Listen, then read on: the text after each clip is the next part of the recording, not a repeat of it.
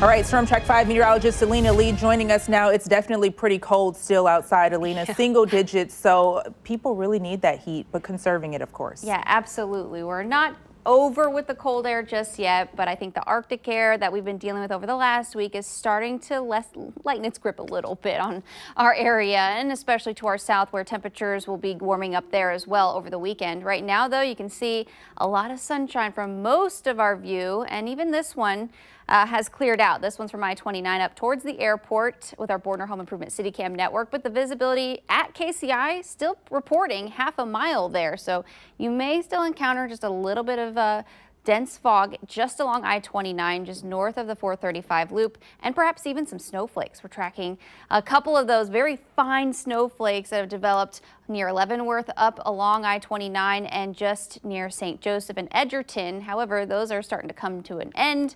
I'm not expecting a whole lot more than that as we head through the remainder of today, but there is another opportunity at maybe some rain and snow, a mix of that and very light in nature as we head through this weekend. So forecast track, I do want to show you when that could happen.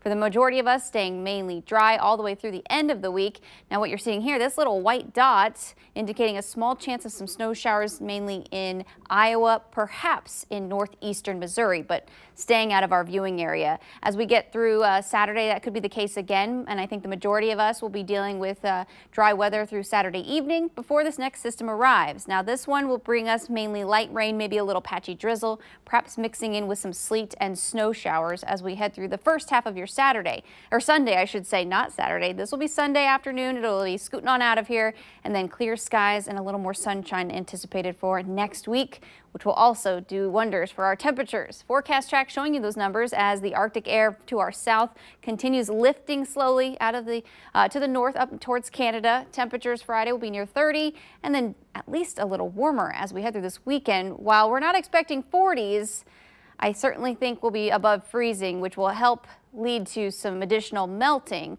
which may cause a couple of issues later down the road. Right now, though, obviously everyone, or 73% of the country, is covered in snow, as you see that from that map behind me. Now, Security Bank seven-day forecast, I do want to go over the Nice chance of 50s next week, 53 Tuesday. There's some indication Monday may be just as warm, but because there's snowpack to our south, it's going to moderate the air, that warmer uh, air mass. So by the time it get, reaches us, it might just be a little bit cooler. Kelly, back you to you. You know what? We are not complaining after what we've been through. Thank you, Alina.